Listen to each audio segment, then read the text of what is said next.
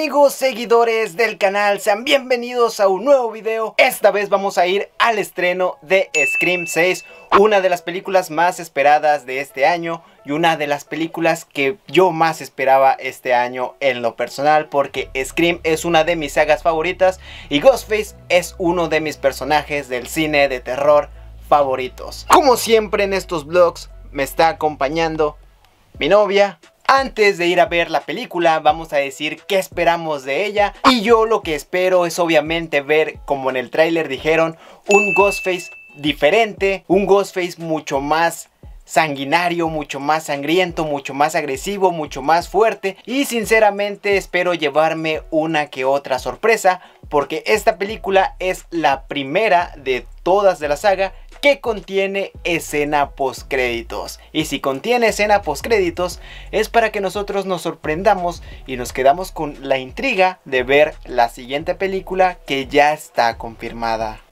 ¿Y tú qué opinas sobre esto? Espero que, no sé, yo vi la primera y pues había dos Ghostface, entonces espero lo mismo, a lo mejor hay, hay más, por lo que viene el trailer había varios trajes, no sé, chance y pueda haber más de dos, no, tal vez. Yo también opino lo mismo, creo que ese Ghostface diferente va a empezar con cambios muy evidentes como que ahora no sean dos o uno. Yo espero mínimo que haya tres Ghostface en esta película.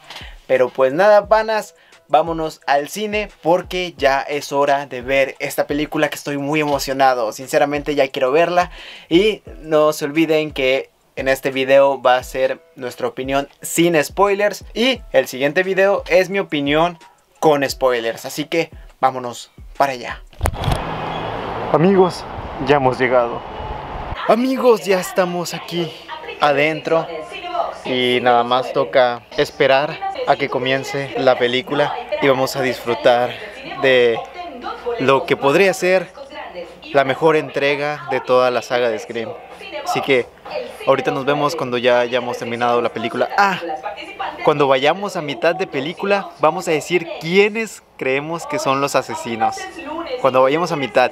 Y en mi video opinión con spoilers voy a decir si latinamos o no. Vamos a estar de, detectives desde el comienzo. Creo que ya tengo algo de experiencia, así que a lo mejor le atino a todos. Yo a lo mejor también. Así que nos vemos cuando hayamos terminado la película.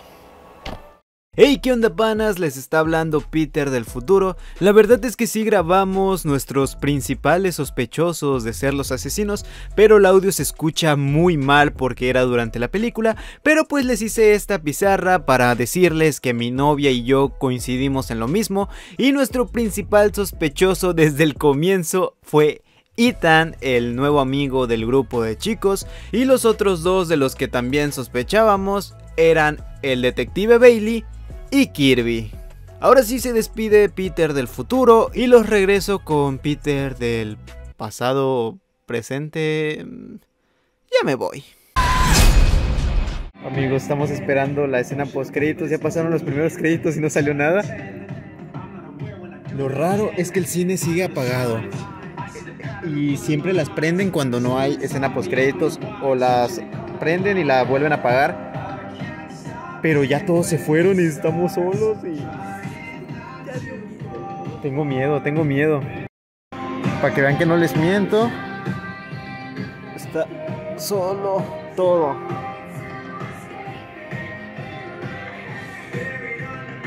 Tengo miedo, tengo miedo. Amigos, ya venimos saliendo y mi opinión sin spoilers es que si es un Ghostface diferente, pero creo que al ya existir seis películas de Scream, uno espera algo más un cambio muy notorio, pero al final siempre resulta siendo algo parecido a lo anterior, por no decir lo mismo. Si es un Ghostface más fuerte, más sádico, por así decirlo, pero sí me esperaba un poco más a como lo está pintando. Yo no lo veo como un evento para preparar lo que viene en un futuro, realmente no se ve así. Tiene su inicio y su desenlace como todas las películas de Scream, pero me encantó cómo es que refuerzan esa amistad de los cuatro sobrevivientes de la anterior película y la verdad es que ese elenco me está gustando mucho. No sé si más que la original, que eran Dewey, Gale y Sidney, pero sí tiene mucho potencial ese grupo de cuatro sobrevivientes. Los nuevos personajes también están bien, pero pues al final de cuentas terminan siendo un relleno. Pero al final sí es una película bastante entretenida. Es una película que no es nada lenta en ningún momento. Realmente siempre estás a la expectativa de todo. Y si tuviera que darle una calificación, o bueno, le voy a dar una calificación, es un 9 de 10. La verdad es que sí está muy entretenida. No sé si es la mejor de toda la saga, pero sí es una de las mejores. La verdad es que sí me gustó. Me gustó mucho. ¿Y tú? ¿Qué opinas? Sí me gustó bastante, eh, solamente he visto la 1, no he visto las demás. La 1 también me había gustado mucho eh, y ahorita esta, la verdad sí la sentí bastante entretenida, sí me gustó demasiado. Me gustó mucho el personaje de Samantha, la verdad este, no sé, se me hizo se me hizo buen personaje y siento que por eso me gustó mucho. Bueno, y como había mencionado Peter, no se quedó como que si fuera a ver otra película, pero pues sí estuvo bien, o sea, cómo estuvo el desenlace y todo, este sí me encantó bastante y le pongo un 9.5 de 10. Y por último, si hay escena post créditos, quédense a verla, quédense a verla.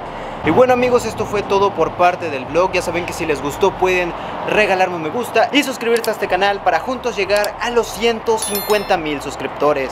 Compartan mi contenido para llegar a más fanáticos del cine de terror y nos vemos en un próximo video. Hasta la próxima. Adiós.